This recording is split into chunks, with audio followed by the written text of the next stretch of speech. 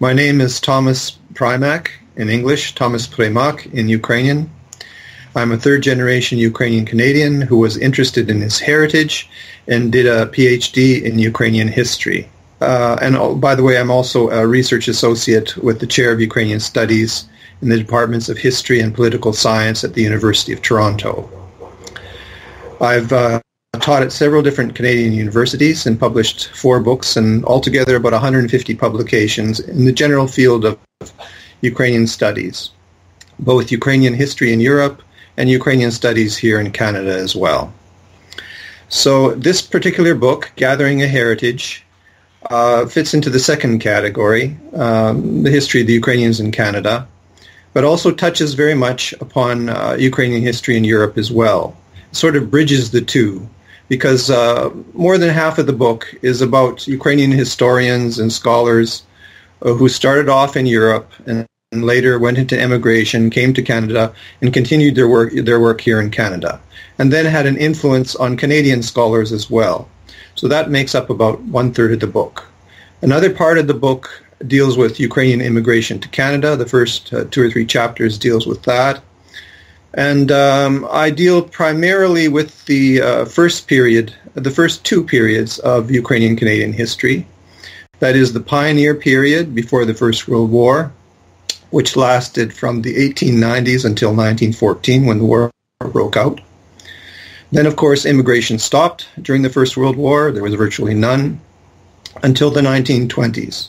In the 1920s, it picked up quite a bit, especially after the so-called Railways Agreement between uh, the Dominion of Canada and the Republic of Poland. And between the wars, a great number of people came to Canada from the Ukraine, from uh, the Republic of Poland, but they came from the Ukrainian part of the Republic of Poland, Old Galicia, same as the pioneer uh, immigration.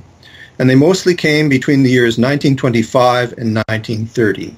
So I also deal with that second period. So those two periods are the main periods of immigration that I deal with because my own family uh, originates with those two periods, the pioneer period before the First World War and the interwar period. Uh, thereafter, I go into the Ukrainian emigres in Canada and Ukrainian life in Canada. And as I said, there's quite a bit on in the book about that. And then the final part of the book uh, deals with um, library studies, Ukrainian libraries in Canada, what they contain, how they got that material, how it's organized, and whereabouts in Canada are the most important collections of Ukrainica and uh, Ukrainica Canadiana. In general, Ukrainian studies is, is, is not a very well developed field. And when I entered the field, it, it was virtually undeveloped. Um, during the Cold War, um, when I entered the field, there were tremendous political uh, pressures not to do Ukrainian history. Um, this was because of the general political context of the time. And even here in North America, I think it was very difficult to do Ukrainian history.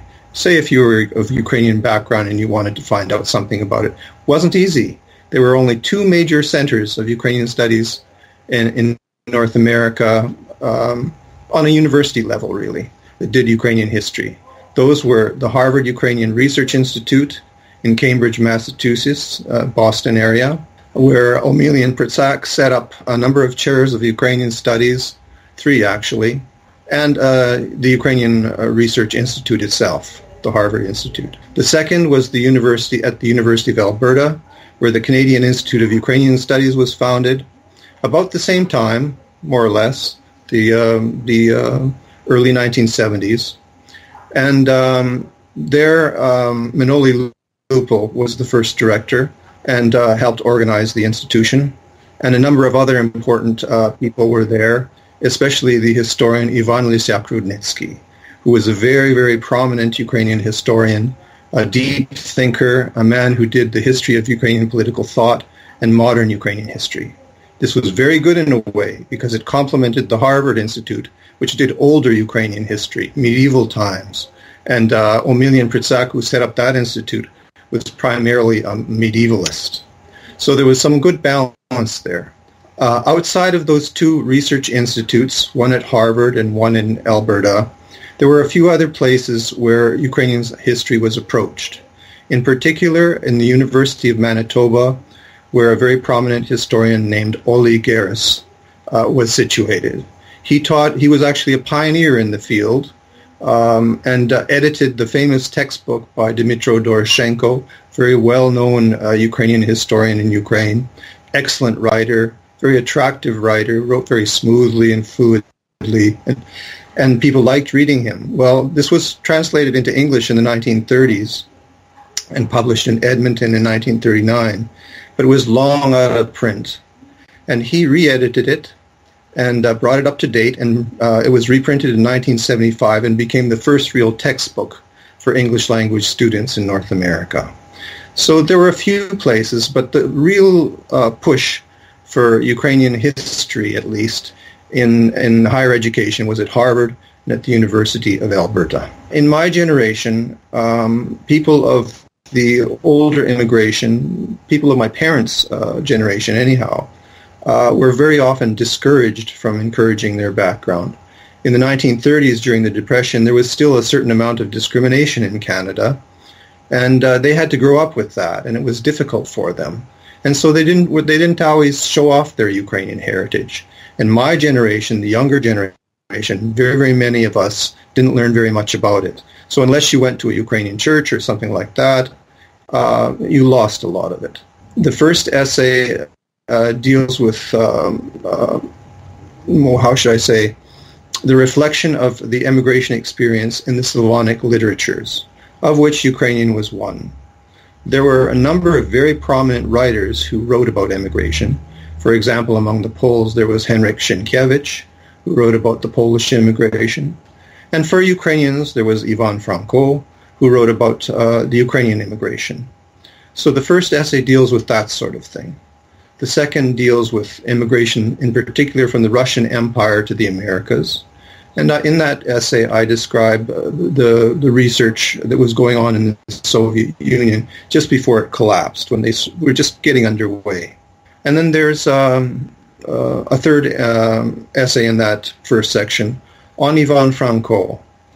Ivan Franko himself was interested in the immigration. He considered himself emigrating from Galicia, from Old Halychyna, to Canada.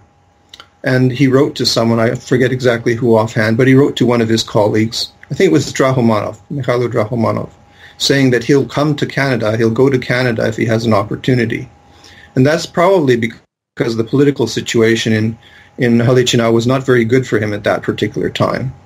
So um, he did not. He didn't come to Canada himself, but he, he wrote about Canada and he wrote about immigration to the United States. He contributed to newspapers in the United States and Canada. And he wrote this very famous poem called Do Brazilii, to Brazil, about Ukrainian or Ruthenian, as they were called at the time, uh, immigrants who were emigrating to Brazil. And when he got involved in the emigration, together with a gentleman by the name of Oleskiw, Osip Oleskiw, who organized the Ukrainian immigration to Canada in particular, Franko tried to redirect the immigration from Brazil, which he thought was not a very good target country, to Canada, which he thought was a thousand times better. So those are, that's the first section of the book.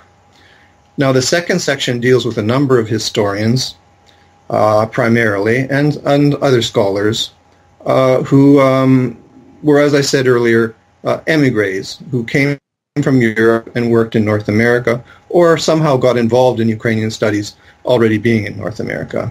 The most famous of these was uh, Dmytro Doroshenko. Doroshenko was a really very important uh, historian indeed.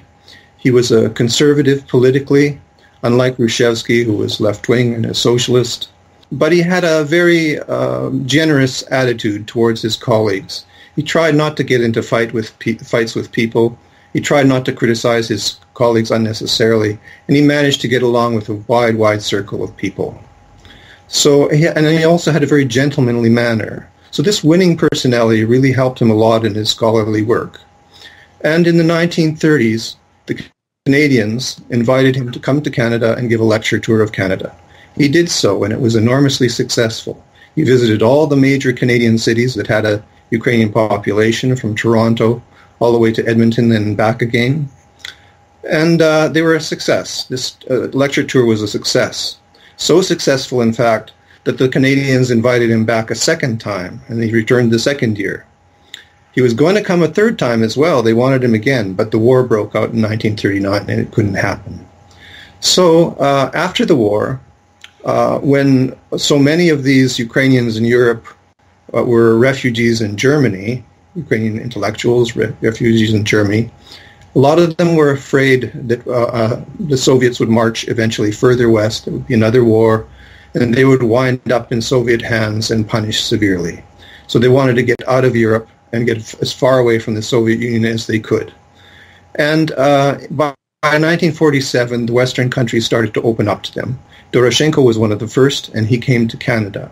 He came in particular to the city of Winnipeg in Western Canada, which had a very large Ukrainian population at the time. Today it consists of approximately 15% of the population of Winnipeg, many, many thousands of people. At that time, I think it was, it was probably slightly uh, smaller, but still it was the largest Ukrainian urban community in the country. And there he, he based himself at the uh, St. Andrew's College, which was an Orthodox college, later affiliated with the University of Manitoba, and he continued to write. He wrote his memoirs there and a number of other important books. But the prairie climate was actually very hard on him, and uh, eventually he got very, very sick and uh, somewhat depressed and decided to return to Europe. He did return to Europe where he died shortly later. So the, a good part of the, the second section is about him in particular, and there are other essays on his colleagues and friends. In particular, I should mention uh, George Simpson of the University of Saskatchewan, who was uh, very favorable to the Ukrainians, set up the first Slavic studies in Canada at his university, and um, befriended uh, most of the Ukrainians that he met, especially Ukrainian scholars. So Simpson was very, very important in those early days before multiculturalism. I believe that uh, most of the essays in this particular book are very original. Um, there was virtually nothing about the biography of uh, Doroshenko when I started. Uh, now the footwork is done and somebody can put together a real scholarly biography. Um, I have worked both on Doroshenko's career in Europe and here in Canada. That's all done. Uh, the same thing with some of the other essays. So I think there is a certain um, uh, amount of pioneering in this particular work, yes. There is one particular essay which I think stands out in the book, and that's the essay right in the middle um, dealing with uh, the Canadian, the French-Canadian writer, writer Gabrielle Roy. Uh, she's a very prominent writer here in Canada, one of Canada's greatest writers, actually. And there's a chapter of her biography uh, that deals with his, her fellow citizens, the Ukrainian Canadians. In 1938, she went to Europe, a young woman and an actress, and she went to study uh, acting in, in London. And there she met a young Ukrainian Canadian from Alberta by the name of Stephen Davidovych. Uh, they fell in love. They fell in love instantly. It was a very passionate affair. But one day he disappeared and she had no idea why he disappeared. Um, it turns out that uh, when he came back about a month later and showed up her, at her door, um, they had a long conversation. They went for a walk, sat down on a park bench, and he poured his heart out to her. He couldn't tell her everything because he said, the more he told her, the more it would put her life in danger. He was working underground for the Ukrainian Organization of Nationalists, the OUN it is sometimes called. And uh, he could he that was the reason why he had disappeared. He was called away suddenly on work for this organization. And uh, what he didn't tell her, well, perhaps I should say firstly, that um, it didn't quite work out after that. She she couldn't quite. He had changed, and she had changed after that terrible experience. And though they tried, it, it didn't work out. But what he did not tell her, and probably it was good that he, that he didn't tell her that, and we know that he didn't tell her because shortly before she died, she wrote her memoirs, and she only gave his first name and didn't say anything about this. But the reason why he was called called to Europe was because of the assassination of Eugene Konovalets, Yevhen Konovalets, who was the head of the Ukrainian Organization of Nationalists, who was assassinated in Rotterdam in the spring of 1938. So um, the organization wanted him to go investigate and find out who had done this and why. Um, we know now that this career of this uh, Ukrainian, this uh, French Canadian woman, who in 19, uh, 1939, when the war broke out, eventually returned to Canada, moved to Montreal, uh, became a novelist, and in 1945 became a world famous novelist with the publication of her first book. And um, we know now that this political event in Ukrainian history helped to cause her to abandon uh, a career as an actress and become um, a writer. And so Canadian literature, in a way, French Canadian literature indeed, is linked to Ukrainian history through this particular event. And this, to me, I think was a great discovery. Um, nobody had ever talked about this before. She didn't know it herself. She died without knowing it, I believe. And uh, it was known to a small circle of Ukrainians in Toronto, some of whom I met and interviewed, uh, even uh, fairly good friends with. Um, but outside of that circle, the world as a whole didn't know. And I was able to put it together and um, tell this story. So I think that's a very uh, original contribution uh, to both Canadian history, history of Canadian literature, and also to the history of the Ukrainian national movement in Europe. There's also an essay on um, Yaroslav Rudnitsky, the famous philologist uh, who established the Department of Slavic Studies at the University of Manitoba in the late 1940s. Um, he was a, a, strange man in some ways um, who loved uh, getting away from home and traveling. And he traveled all over the Western world. He traveled uh, throughout Europe, one end to the other, he traveled across the United States, across Canada, to Australia, to throughout the Mediterranean, and um, everywhere that he went, he visited Ukrainian archives, Ukrainian libraries, and Ukrainian intellectuals and art galleries, if wherever he could find them, whether they were public or private. And he would write about them. He'd write little articles for the press back in Canada, in the Ukrainian language for Ukrainian newspapers primarily.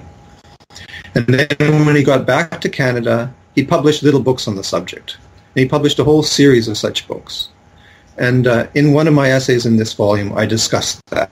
I discussed his importance as a what's called a bibliographer, a person who uh, compiles bibliographies, lists of books, and a librarian who uh, evaluates libraries.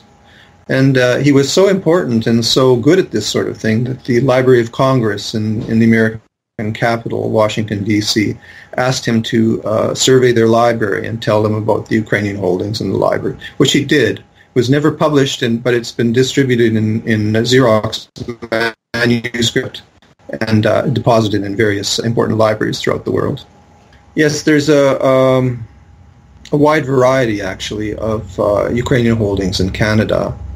Um, and this has changed over the years. It's even changed quite a bit during my own lifetime. Um, earlier on, the, the major focus of Ukrainian uh, population in Canada was on the prairies, uh, stretching from uh, Manitoba through Saskatchewan to Alberta. And uh, people in that part of the country were collecting books already in the 1920s and the 1930s.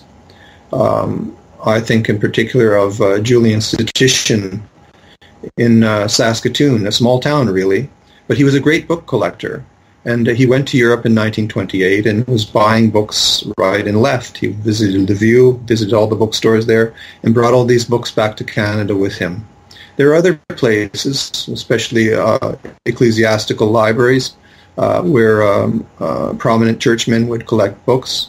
There's one in Mundare in Alberta that has a large collection of religious books, and there are several in Winnipeg. Winnipeg was very, very important in the 1950s and the 1960s uh, because the uh, hierarchs of both Ukrainian churches were resident there. And uh, the Orthodox set up their college, St. Andrew's College, in the city, and the uh, uh, Ukrainian Catholic uh, Metropolitan as well had a library and archive. So those are the old ones. But then in the 1960s and 19, especially the 1970s, the focus shifted somewhat from private Ukrainian libraries and uh, Prosvita libraries, the, the, the reading club libraries, which existed in various cities in Canada, shifted from there into the universities. And universities began to build up their Ukrainian collections.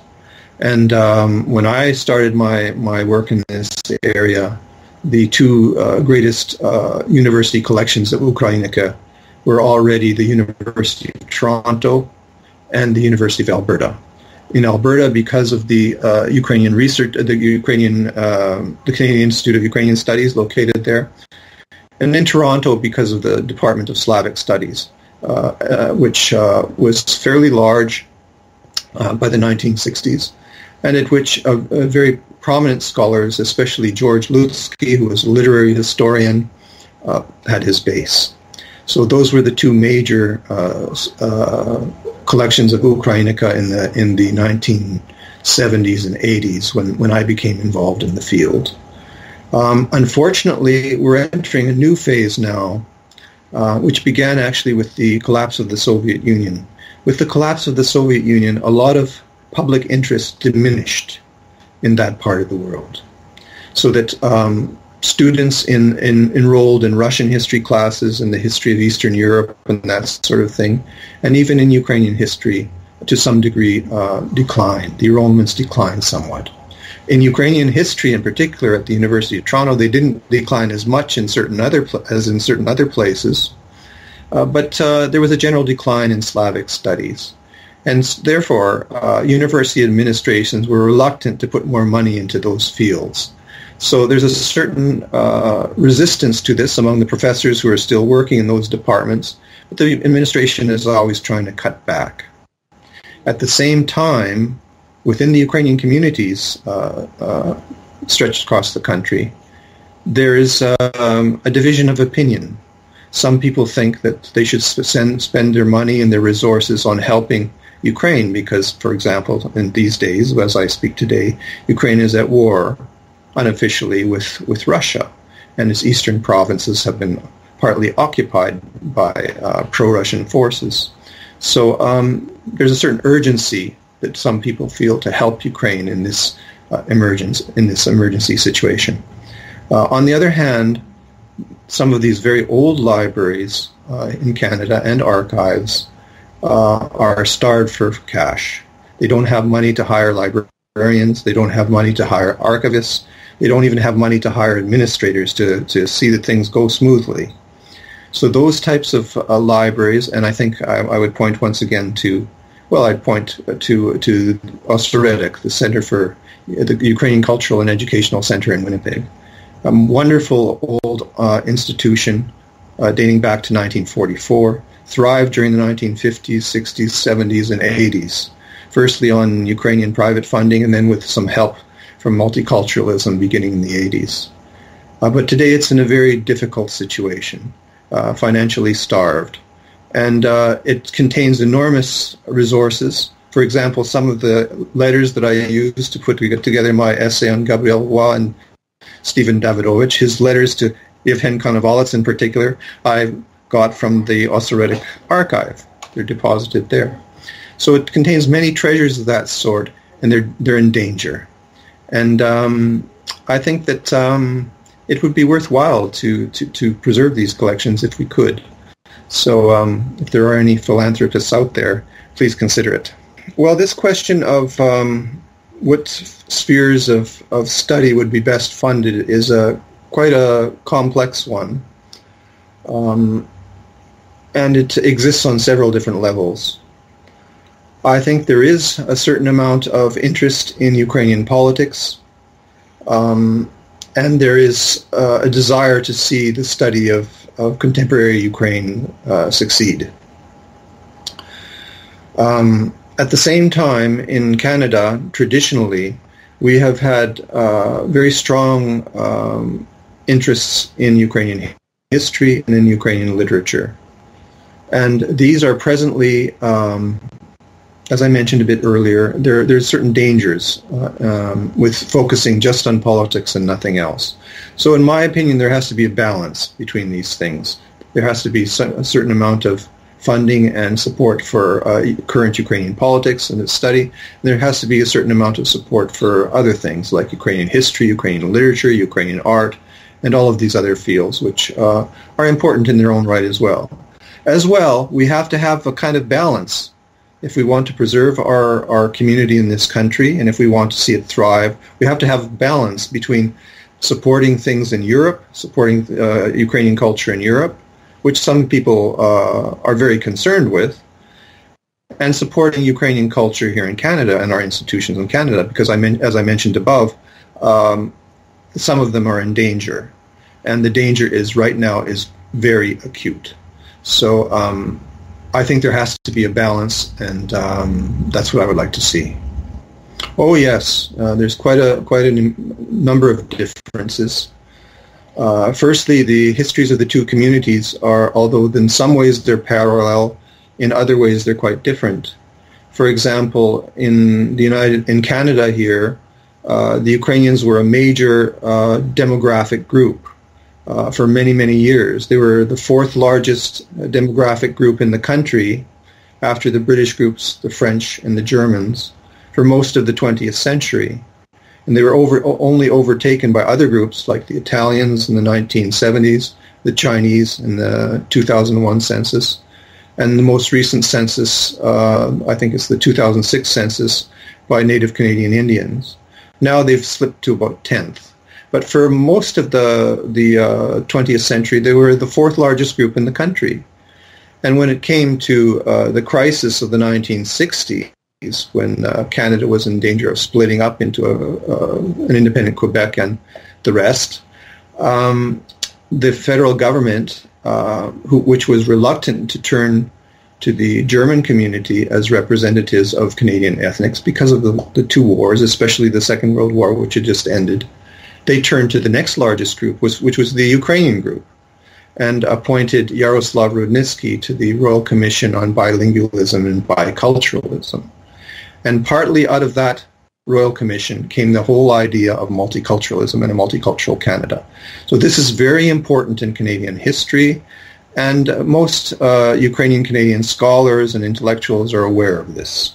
On the other hand, in the United States, the Ukrainians were always a relatively small group. They didn't have such a high profile in Canada. They didn't have the political influence in Canada. In the United States, the largest Slavonic group was not the Ukrainians, like in Canada, but rather the Poles, of which I think there were about nine and a half million by the year 2000. So nine and a half, or something like that, nine and a half million. Anyhow, they were by far the largest Slavonic group. And just as the Ukrainians in Canada led the charge uh, to uh, balance things out, for example, to um, fight against Soviet propaganda denigrating such groups, so the Poles in the United States took on that that role. So in some ways, it's not quite correct to compare Ukrainian Canadians with the Ukrainian Americans. Rather, the comparison should be Ukrainian Canadians and Polish Americans because the Poles were the biggest Slavonic group there, just as we were the biggest Slavonic group here. So that's on the demographic level. With regard to scholarship, again, there's a huge difference. In the United States, the emphasis was always on Ukraine. There's very little study of the Ukrainian Americans, a handful of books, nothing more than that. Whereas in Canada, we had a real flourishing of scholarship on Ukrainian Canadian institutions and culture throughout the 1970s and 1980s. And this goes back even further, right back to the 1950s. And it continues even today with the work of outstanding scholars like or- Orest Martynowych uh, in Western Canada. So yes, there's differences on both levels. The important thing to remember is that the entire book uh, describes uh, a search, a search for this heritage that was partly lost and uh, had to be rediscovered. And that's the theme of the book. And the clu- conclusions are that there, there is a rich heritage there there's an interesting story there that needs to be told, and I tried to tell as much of it as I could in this particular book. And thank you very much, William. I've seen you a lot of a lot of uh, uh, lectures, of course, and uh, everybody is very appreciative of your work. So thank you very much from from myself and from all the others as well.